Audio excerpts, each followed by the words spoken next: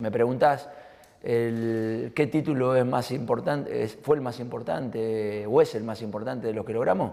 No tengo ninguna duda que el del Bernabéu, de la Copa del Rey.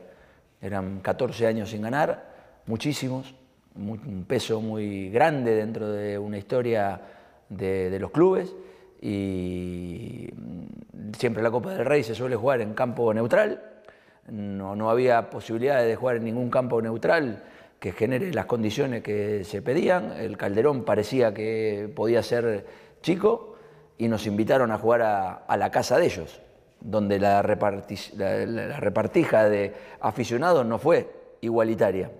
Hubo más de ellos que de nosotros, pero así todo logramos generar algo que empezó a generar en los futbolistas el darse cuenta de que en el aspecto nacional podíamos empezar a volver a ganar. Habíamos ganado ya en Europa, había ganado Quique, Sánchez Flores, que fueron los que empezaron en, este hermoso, en esa hermosa década del club, pero en, lo nacional faltaba decir presente. Y el equipo logró en un partido durísimo, difícil, llevarse ese título que nos dio el, el, ver que podíamos seguir creciendo y ver que podíamos también ganar acá en el ámbito nacional.